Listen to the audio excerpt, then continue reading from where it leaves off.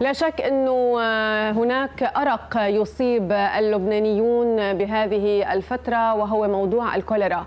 وبنخلص من وباء لا يوصلنا وباء آخر. ما بنعرف كيف بدنا نتعاطى معه علما إنه هو كان موجود من زمان ولكن عودة الكوليرا كيف هي؟ كيف شكله الجديد؟ هل يتغير هذا الفيروس مثل ما بنسمع دائما عن المتحورات التي تصيب الأوبئة الأخرى؟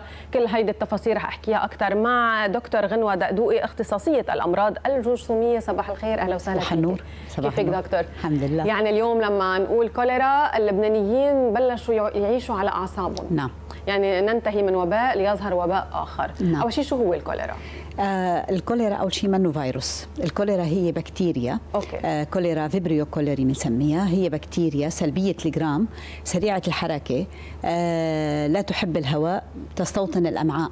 okay. آه فلما بتصيب الأمعاء تستطيع أن تفرز toxin. يعني سموم معينة بتؤدي لإسهالات حادة وشديدة. يعني درجة الإسهال قد تصل إلى واحد لتر بالساعة مشان هيك يصيب المريض الجفاف الشديد وهذا الجفاف يؤدي إلى اضطرابات بأملاح الجسم بالكالسيوم بالبوتاسيوم آه بيؤدي إلى آه هبوط بسكر الدم يؤدي إلى أحيانا آه داء الصرع الكوما آه واكيد استفراغ آلام شديدة بالبطن مع كرامب يعني بصير في عنده المريض والشيء الأساسي كمان إنه بصير في عنده وجع بالعضلات نتيجة اضطرابات الأملاح اللي عم نحكي عنها.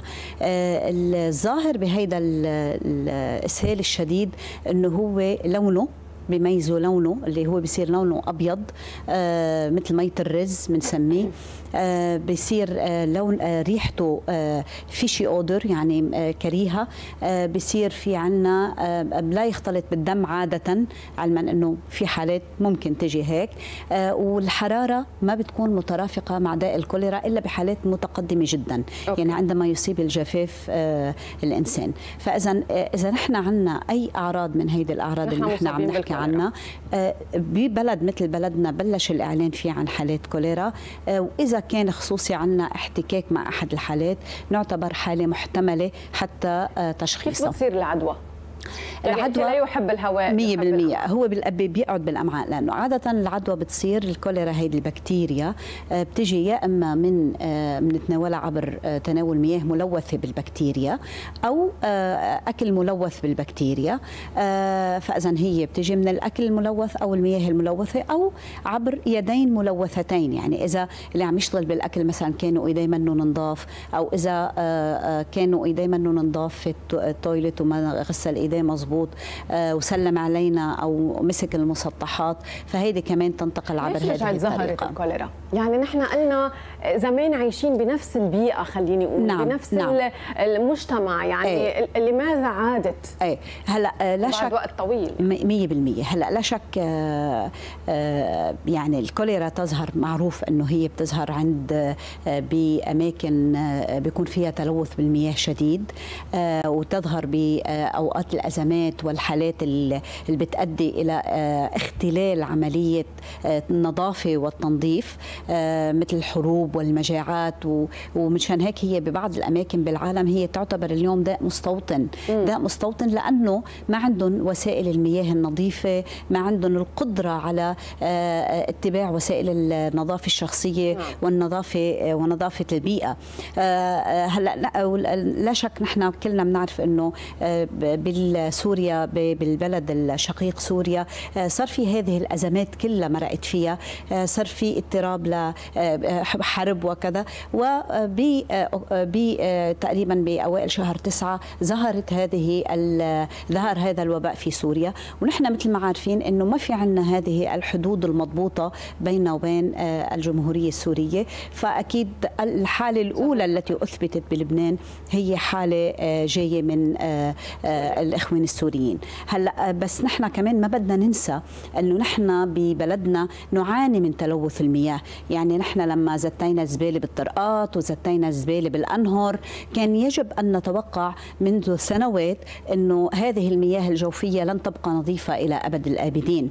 ونحن لما ما بنعمل صيانة لبنانا التحتية يجب علينا كمان أن نتوقع إنه يمكن قد تختلط هذه المياه الجوفية بمياه المجارير فإذا نحن كمان بلد كبلد بال بالترتيب تبعنا بالستركتشر تبعنا مهيئين انه يصير في عنا هذا الداء نتيجة عدم تهيئتنا للبنى التحتية لأن تكون بنى صالحة. صالحة ونظيفة. طيب اليوم آه، ايمتى نحن بما أنه حكيتي عن العوارض التي ترافق نعم. الكوليرا ايمتى نحن بنحس آه، إنه لا صار ضروري الانتقال إلى المستشفى؟ نعم. وهل حدا مصاب بالكوليرا بالكوليرا في يتحكم بالبيت؟ أكيد آه، منشان هيك نحن اليوم أنا يمكن رسالتي الأساسية للمواطن أكيد ما لازم نخاف بس لازم نكون يقظين وحذرين لأنه الدرجة الأولى بالعلاج من الكوليرا هي الوعي كل ما كان وعينا أكثر حول مخاطر هذا الداء كل ما نحن كنا عن جد قادرين نسيطر على العواقب اللي ممكن تنتج نعم. عنه آه لا شك اليوم نحن بنقول للمريض ما تتأخر بالروحة لعند الحكيم لأن نحن كل ما شخصنا مبكرا الكوليرا وكل ما أعطينا العلاج اللازم بشكل آه بكير كل ما نحن أخرنا آه أو منعنا حدوث أي تعقيدات للكوليرا. وتعقيدات الكوليرا منا سهلة مثل ما عم نحكي في جفاف قد يك... والكوليرا أصلا تعتبر من الأمراض الجرثومية القاتلة. أوكي؟ إذا توصل للوفاة؟ إذا... yes نعم توصل إلى الوفاة. نحن عم نحكي عن جفاف شديد آه، قد يصيب الإنسان. فما تترك حالك لأنه يصير في عنا هذا الجفاف الشديد اللي بخلي في اضطرابات بالأملاح اللي بخلي يوصلك لدرجة هبوط السكر للكوما للصرع. آه، إذا كان في استفراغ شديد يمكن يشرق المريض يعمل شيء التهاب رئتين. آه، فالعواقب الكل آه، يمكن يعمل نشاف بشرايين راسه. فعلى المريض أن يكون يقظا حذرا. أي إسهال شديد عليه التواصل مع طبيبه. طبيبه يقيم الوضع. بيشوف إذا في داعي يعطيه علاجات منزلية أو في داعي يفوته مستشفى. لأنه عادة أعراض الكوليرا قد يعني إذا بدك تتراوح ما بين مريض ما عنده أي أعراض ابدا وهي بنسبة 80% من الحالات يعني بتكون البكتيريا موجودة بس ما عنده هالأعراض اللي نحن عم نحكي عنها. ب 20% من الحالات يعني تختلف خطورتها ما بين mild moderate severe يعني ما بين أعراض طفيفه لأعراض متوسطة لأعراض شديدة لأعراض خطيرة. فرجاء لا تترك حالك لتوصل لأعراض شديدة. لاحظت إنه في إسهال غير غير مبرر. عليك التواصل مع طبيبك. لهو يقيم الوضع. ليقول لك إذا بدك مستشفى أو ما بدك مستشفى. طيب اليوم نحن إذا قاعدين بنفس المنزل نعم. وأصيب أحد أفراد هذه العائلة بالكوليرا كيف نعم. نقدر نحمي الأفراد الباقيين؟ سؤال كثير مهم ويمكن هو هون الوعي اللي أنا عم بحكي عنه يمكن بهالخطوات اللي بدنا نقولها هلأ. لا شك هذا الشخص اللي نحن آه، مصاب آه، بدنا آه، نعزله. بدنا بدي المواطن يفهم شغلة اليوم. فكرة العزل بالكوليرا ليست هي الفكرة العادية اللي اعتدنا عليها بالكورونا أو اللي بنشوفها مثلا بجرثومة الروتا عند الأطفال لما بصير في عندهم إسهال. العزل يعني أنه لازم آه، يكون آه، الحمام تبعه نظيف جدا خصوصي بعد ما يستعمله آه، بيستعملوا الكلور دايما. ثيابه نضاف. نحن إذا عم نهتم فيه بدنا نكثر من غسل اليدين. يستحسن أنه نستعمل قفازات يعني كفوف الظروف. وقت اللي عم نتعاطى معه عم نظبط له شراشفه عم نطعميه عم نهتم بنظافته الشخصية. آه نستعمل روب مثلا جاون خاص لما بنهتم فيه وبنغيره من دغري بنحطه بالغسيل بعد ما نخلص منه. نكثر من نظافة اليدين. نحافظ على مصدر المياه الصحي. يعني لازم نشرب مي نظيفة. آه لازم ما ناكل أكل ني. لا آه أسماك نية لا سوشي ني لا كذا لأنه هيدي قد تحمل آه بطياطه البكتيريا اللي عم نحكي عنها وأكيد نظافة المسطحات والنظافة آه، يعني نظافة البيئة اللي عايشين فيها كمان شغلة أساسية بالحفاظ على آه، آه، عدم انتقال العدوى بين نعم. أفراد الأسرة. طيب نحن بنعرف إنه الكوليرا في عنده فاكسان في عنده لقاح. نعم. هل اليوم مستحب إنه نرجع نعيد الكرة ونرجع نقدم هذا اللقاح فيما لو أصيب الشخص أو قبل الإصابة أو يمكن اليوم كرمال. نحمي حالنا نعم. نروح على نعم. التلقيح لا شك في شغلة كثير أساسية آه، بلقاح الكوليرا. أول شيء أي وباء موجود في له لقاح نحن كأخصائيين بنكون مطمئنين نوعا ما. هلأ اللقاح هو بتعرفوا أنتم كان موجود منذ القدم صحيح. ولكن آه، ليش تم عدم يعني استعماله أو عدم الإكثار من استعماله؟ أول شغلة لأنه في له أعراض جانبية. هذه الأعراض بتشبه أعراض الكوليرا. ممكن يكون صداع إسهال ألم بالبطن ألم بالعضلات. ففي أعراض جانبية. الشغلة الثانية في ما فينا نطعم كل الناس. فارتأت منظمة الصحة العالمية إنه حصر اللقاحات بالأشخاص المسافرين إلى بلد موبوء أو الأشخاص اللي قاعدين بظروف قد تساعد في انتقال الكوليرا مثل أزمات اقتصادية وأزمات سياسية وحروب وأكيد في أماكن تظهر فيها الكوليرا.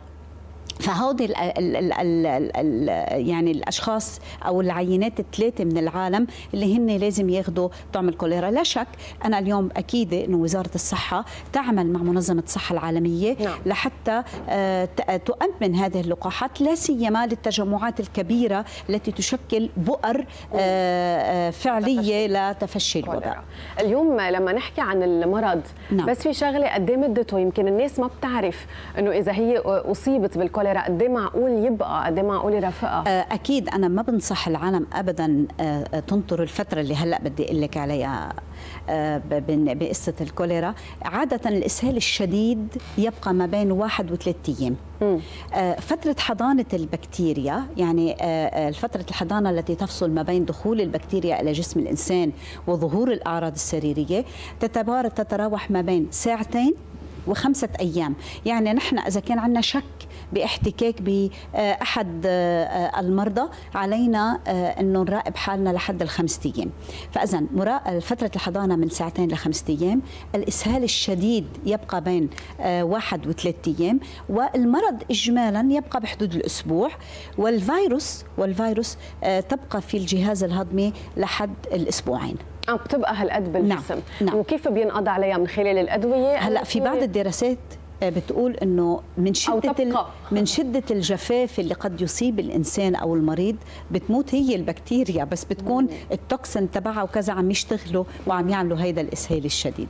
يعني ولكن فيما لو أخذ أدوية ممكن هو يقضي عليها بالأدوية الشيء الاساسي الشيء الأساسي اللي عن جد كمان آه بدنا نفهمه إنه العلاج الأساسي للكوليرا هي العلاج الجفاف يعني تناول السوائل بكثرة.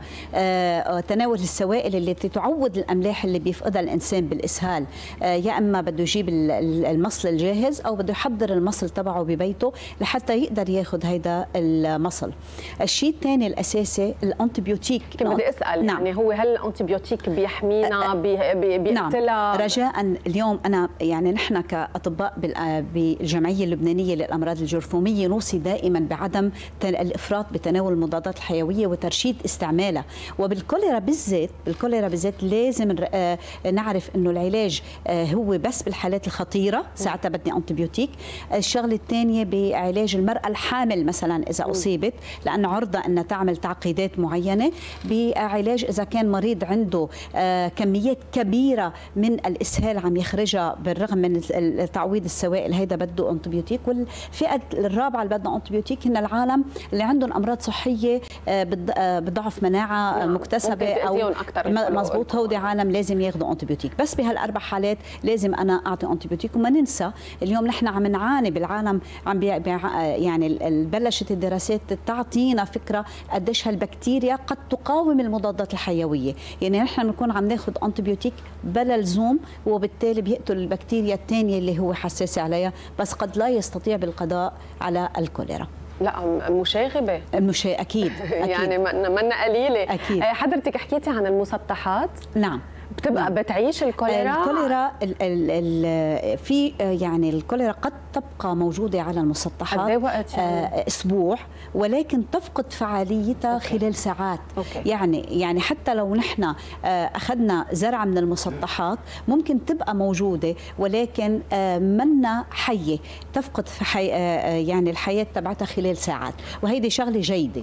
ولكن أيضا خلينا نقول إنه لما بنشك بحيلا حالة بالبيت أهم شيء الانتباه للنظافة. يعني هي بالآخر خلينا نقول إنه هيدي الخلاصة. فاذا نحن إذا عندنا شخص شخص مصاب بالبيت لازم ننتبه له له لحتى ما يصير في عندنا جفاف عنده جفاف ويفوت بتعقيدات الكوليرا.